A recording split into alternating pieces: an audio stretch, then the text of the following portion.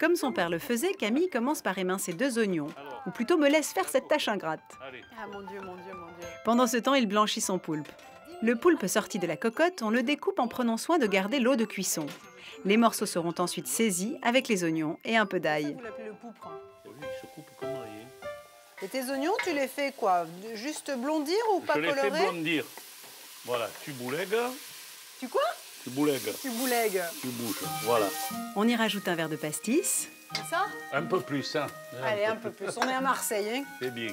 Tu mets et tu déglaces. Et je déglace. avant de mettre notre bouquet garni et une boîte de tomates pelées, ou si c'est la saison, de belles tomates fraîches.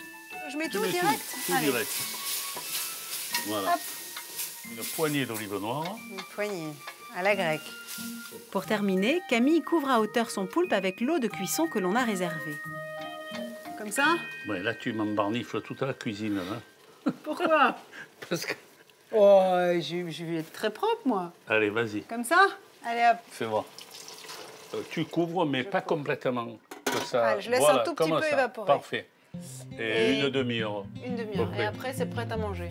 Pour la jambinette de poulpe de Camille, il vous faudra un poulpe de 1 kg 2, 2 oignons, 3 gousses d'ail, 400 g de tomates, une dizaine d'olives noires à la grecque, 5 centilitres de pastis, 5 centilitres d'huile d'olive, un bouquet garni, un piment séché et 70 g de concentré de tomate.